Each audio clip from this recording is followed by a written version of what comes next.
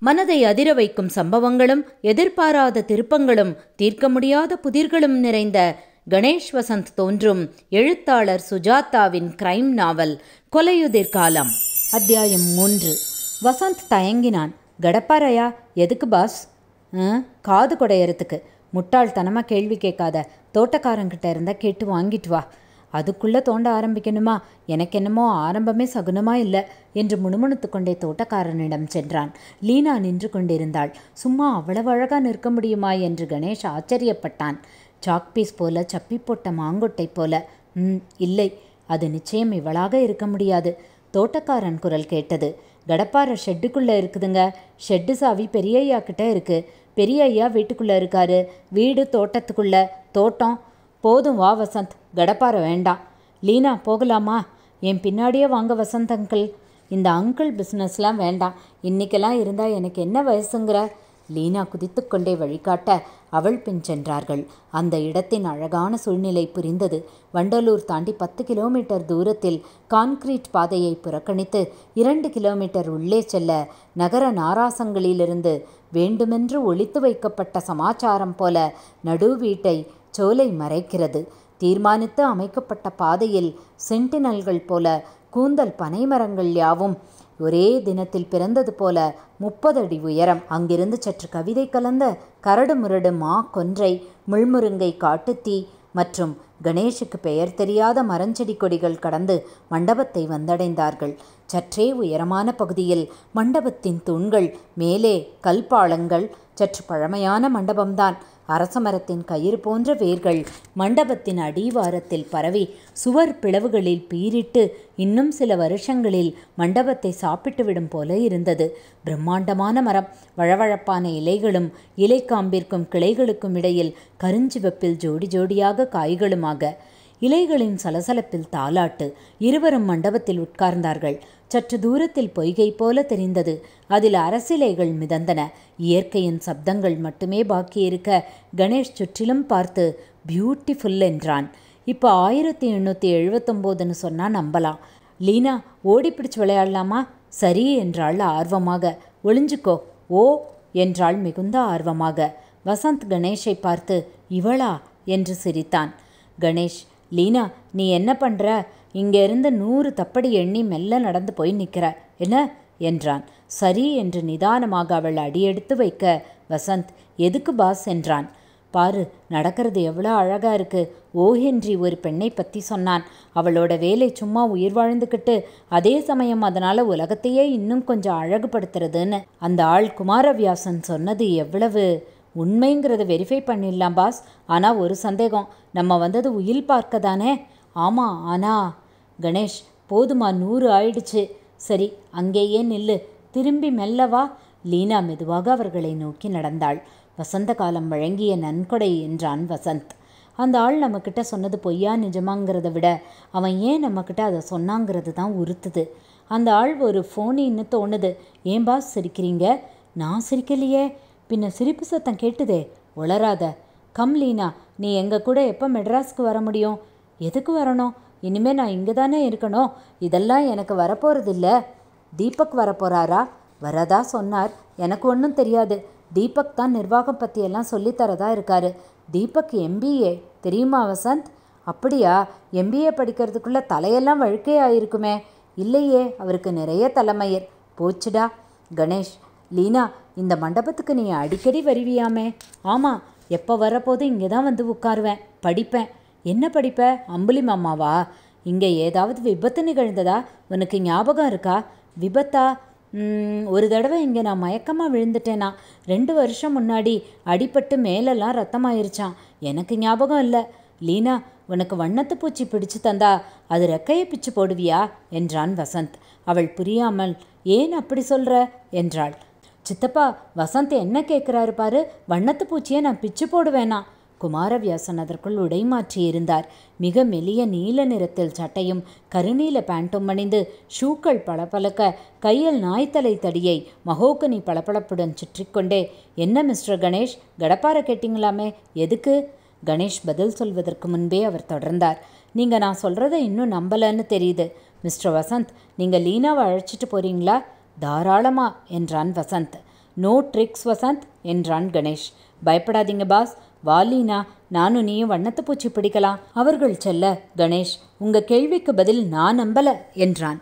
தோண்டி பார்க்கணுமா உங்களுக்கு? அவர் மெதுவாக மண்டபத்தை சுற்றி வந்து அதன் மேற்கு மூலையிலிருந்து சுனையை நோக்கி பதினைந்து அடி நடந்து தன் வாக்கிங் ஸ்டிக்கால் தரையில் தட்டி இந்த இடத்தில் தான் புதைத்தேன். பார்க்கணுமா உங்களுக்கு? என்றார். வேண்டாம். ஆனா நீங்க செஞ்சது ஒரு பெரிய தப்பு. மகா தப்பு. போலீஸ்கிட்ட சொல்லாம ஒரு கொலைக்குரிய முக்கிய சாட்சியத்தை இப்படி மறைச்சு வச்சதை நீங்கள் அதுக்காக ஜெயிலுக்கு போவீங்க. நான் தான் தயார்னு சொன்னேனே. நானே சொல்ல போகிறேனே ரெண்டு வருஷம் தாமதிச்சதுக்கு என்ன காரணம் சொல்ல போகிறீங்க அவர் உணர்ச்சிவசமாக பேசினார்.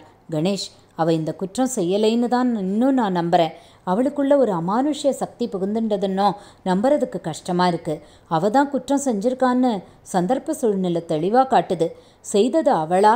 இல்லை அவளுக்கு தற்காலிகமாக பிரம்ம பிடிச்சு பித்து பிடிச்சு ஒருவித வெறி வந்து அல்லது நிஜமாகவே பிசாசுங்கிறது இருக்கா? கிராமத்தில் அவங்க சொல்கிறது போல. எப்படி இருந்தாலும் சட்டப்படி நீங்கள் மறைச்சது மகா தப்பு. நீங்கள் சொன்ன மாதிரி அந்த சந்தர்ப்பத்தில் அவளுக்கு ஒருவித பிரம்ம பிடிச்சிருச்சுன்னு வச்சுக்கிட்டா கூட அதை கோர்ட்டில் நிரூபித்தா அதுக்கு ஐபிசி செக்ஷன் எண்பத்தி நாலு மூலமாக ரெமெடி இருக்குது அப்படித்தான் நீங்கள் அந்த சம்பவத்தை அணுகி இருக்கணுமே தவிர மறைச்சு வச்சுட்டு இது ரொம்ப தப்பு. ஏதோ நடந்தது நடந்துடுச்சு. எனக்கு என்னன்னா நான் இந்த பொண்ணை தனியாக இந்த வீட்டில் விட்டுட்டு போக வேண்டியிருக்கு. என் பிஸ்னஸ் கூப்பிடுது என்ன? இவ்வளவு வருஷம் சொத்துக்கு மட்டுமில்ல இவளுக்கும் கார்டியனாக தான் இருந்திருக்கேன். சட்டப்படி அதை முடிக்க வேண்டிய காலம் வந்துடுச்சு. ஆனால் இந்த பொண்ணை பற்றி எனக்கு கவலை தீரலை. நெஞ்சுக்குள்ளே அந்த குற்ற உணர்ச்சி மண்டபத்துக்கு பக்கத்தில் அந்த புயல். மிஸ்டர் கணேஷ் ரெண்டு நாள் இருங்க. ரெண்டு மாதம் கூட இருங்க. தீர்மானமாக ஏதாவது செய்துட்டு புறப்படுங்க. எனக்கு ரெண்டு நாள் இருக்கிறதே கஷ்டம். உங்களுக்கு பிஸ்னஸ் அழைக்கிற மாதிரி எனக்கு என்ன ஹைகோர்ட் மிஸ்டர் குமார் நான் இப்போ இங்கே வந்தது அகஸ்மாத்தாதான்னு சொல்லணும். என் கலீக் ஒருத்தர் சன் தீபக் அவரை ஒரு பார்ட்டியில் சந்தித்தேன் அவர் தான் சொன்னார் நான் இந்த இடத்த வந்து பார்க்கணுன்னு லீனாவோட வாரிசு சம்பந்தமாக எல்லா விவகாரங்களையும் கவனிக்கணும்னுட்டு. அதுக்கு முன்னால் ஒரு நாள் ரெண்டு நாள் இந்த எஸ்டேட்டை வந்து பார்க்கலான்னு வந்தேன். இன்னும் நாங்கள் எதுவும் இந்த விவகாரத்தில் ஏற்றுக்கல நீங்கள் ஏற்கனவே ஒரு குண்டை போட்டுட்டீங்க. அதையே முழுங்க முடியாமல் தவிச்சிட்ருக்கேன். அப்போது சென்னை திரும்பியதும் போலீஸ்கிட்ட சொல்ல போகிறீங்களா அதை பற்றி நான் இன்னும் யோசிக்கலை. அவர் புறப்பட கிளம்பினார். ராத்திரி இருப்பீங்கல்ல? ஏன்? உங்கள் ரெண்டு பேருக்கும் சேர்த்து சமைக்கிறதுக்கு. இருப்போம். அப்போ நான் வரட்டுமா? என்று வாக்கிங் ஸ்டிக்கை சுழற்றி கொண்டு புறப்பட்டார். காய்ந்த இலைகளில் அவர் நடக்கும் சப்தம் சற்று நேரம் கேட்டது. கணேஷ் தனியாக இருந்தான். மெதுவாக அந்த மனிதர் தட்டிக்காட்டிய இடத்திற்கு சென்றான். தரையில் காலால் தேய்த்து பார்த்தான். இரண்டு மூன்று ஆசாமிகள் தோண்டுவதற்கு ஐந்து மணி நேரம் ஆகும் தரை நன்றாக எருகித்தான் இருந்தது. எதற்கு தோண்ட வேண்டும்? பேசாமல் சென்னை திரும்பி விடலாம். அந்த பெண்ணை பற்றிதானே கவலை? அவளையும் அழைத்து கொண்டு சென்று விடலாம். அவளுக்கு ஞாபகமில்லை என்கிறாள். அதை கண்டுபிடித்து விடலாம். கணேஷுக்கு பளிச்சென்று ஞாபகம் வந்தது. டாக்டர் பாலகோபால் அந்த தரையில் தோண்டுவதற்கு பதில் அவள் மனதில் தோண்டலாம். அந்த பெண்ணை ஹிப்னாட்டிச தூக்கத்தில் ஆழ்த்தி அன்றைய தினத்திற்கு கொண்டு சென்று விடலாம். திட்டவட்டமாக இரண்டு வருஷத்திற்கு முன் என்னதான் நடந்தது என்று தெரிந்து கொண்டு விடலாம். ஆக என்ன சொன்னார்? கார்த்திகை மாசம் திருத்தீயை சித்தயோகம். தெரிந்து கொண்டு அப்புறம் போலீஸுக்கு தெரிவிக்கலாம். மறுபடி மண்டபத்திற்கு வந்து உட்கார்ந்து சுற்றும் முற்றும் பார்த்தான். மாலை பறவைகளின் கதம்பமான சப்தங்கள் எத்தனையோ இறக்கை முளைத்த சப்தங்கள் நடுவே குயிலின் குரல் அக்கா குருவியின் கொஞ்சல் எல்லாமும் இயற்கையாகவே. இருந்தும் கணேஷின் மனத்தில் ஒன்று உறுத்தியது. வசந்த் ஏன் அந்த மாதிரி திடீர்னு கேள்வி கேட்டான். ஏன் பாஸ் சிரிக்கிறீங்க? நான் சிரிக்கலையே. பின்ன சிரிப்பு சத்தம் எங்கேயோ கேட்டுதே. ஒளராதே வசந்த் ஏன் அப்படி கேட்டான்? அப்படி கற்பனை செய்து கொண்டானா? மாட்டானே. எதனால்? பயத்தாலா? கணேஷ் சற்று நேரம் அப்படியே உட்கார்ந்திருந்தவன் சட்டென்று அந்த சிரிப்பு சத்தத்தை தெளிவாக கேட்டான். தூரத்திலா கிட்டத்திலா என்று சொல்ல முடியாதபடி ஆண் சிரிப்பு. பத்து செகண்ட் தான் கேட்டிருக்கும். அலட்சியமும் ஏளனமும் தெரியும் நக்கல் சிரிப்பு. கணேஷ் சுற்றும் முற்றும் கவனமாக பார்த்தான். அவன் சருமத்தின் அடித்தளத்தில் சட்டென்று ஒரு சில் ஒரு சின்ன ஐஸ் ஒத்தடம். இதயம் ஒரு தடவை நொண்டியது. மறுபடி அந்த சிரிப்பு சத்தம் கேட்க காத்திருந்தான். பத்து பதினைந்து நிமிஷமாகியும் கேட்கவில்லை. எழுந்து நடந்தான். அவன் காலடி ஓசை இப்போது சற்று கலவரப்படுத்தியது. யாராவது பின்தொடர்கிறார்களா என்ன? ச அனாவசிய பிரம்மை. பட்ட பகலடா முட்டாளே. பகலில் கூட சாயந்தரம். சூரியன் வேளை. இது இருபதாம் நூற்றாண்டு. சயின்ஸ் யுகம். எல்லாவற்றின் காரண காரியங்களும் அலசப்பட்டு தீர்வாகிவிட்ட காலம். நட வேகமாய் நட. பின்னால் ஒரு தடவை திரும்பி பார்த்துவிட்டு நடந்தான். அறைக்கு திரும்பிய போது வசந்திடம் சொன்னான் உங்களுக்கும் கேட்டுதா பாஸ்? ம் நான் சொன்னேனா இல்லையா? தூரத்தில் ஆண் பிள்ளை சிரிப்பு. ஆமாம் தூரத்துலன்னு சொல்ல முடியல. கிட்டத்திலேயும் காதோட ரகசியமாக சிரிச்சாப்லேயும் இருந்தது. கரெக்ட் அதே உணர்ச்சி எனக்கும் ஏற்பட்டது பாஸ் வாங்க போயிடலாம். இந்த இடத்துல ராத்திரி தங்க முடியாது. பயப்படுறியா வசந்த் அவர் என்னமோ ரத்த காட்டேரி அது இதுன்னு டிராகுலா மாதிரி உறிஞ்சிற கதையெல்லாம் சொல்லி வச்சிருக்காரு. ஏற்கனவே எனக்கு உடம்புல ரத்த சக்தி குறைச்சல்னு டோனா சாப்பிட்டுட்ருக்கேன். வசந்த் நிஜமாவே நீ பயப்படுறியா? பயம் இல்லை பாஸ் எதுக்கு வம்பு? இது என்ன விஷயம்னு தெரிஞ்சுக்க உனக்கு ஆர்வம் இல்லையா? இருக்கு. இருந்தாலும் ஒன்று செய்யலாம் பாஸ் இன்னைக்கு ராத்திரி ரெண்டு பேரும் ஒரே ரூமில் படுத்துக்கலாம். எனக்குன்னு தனியாக ரூம் கொடுத்துருக்காங்க. எதுக்கு? வேண்டாம். பேசாமல் இங்கே வந்து படுத்துக்கிறேன். தரையில் ஒரு ஓரத்தில் ஆறு அடி போதும் எனக்கு. என்ன? நீ இங்கே வந்து படுத்துக்கிறத பற்றி எனக்கு ஆட்சேபணம் இல்லை. அதோட இன்னொரு காரியமும் செய்யணும் நீ. என்ன? என்றான் வசந்த். குரல் நடுங்கியது. ராத்திரி அரசமர மண்டபத்துக்கு என்னோட வரணும். கொலையுதிர் காலம் அத்தியாயம் நான்கை கேட்க தொடர்ந்து இணைப்பில் இருங்கள். மீண்டும் உங்களை சந்திக்கும் வரை நன்றி வணக்கம்.